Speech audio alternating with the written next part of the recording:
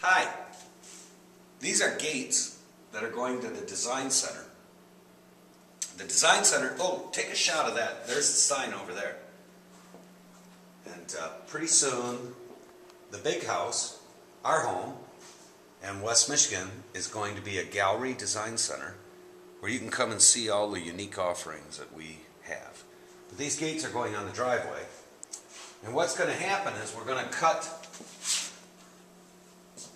circles in this, and we're going to do what's called fusion glass. So we'll embed glass into the gate. The gate will be done in satin black with big lamp posts up top. And this is another project we're working on. So I can't wait for you guys to see this as we progress further.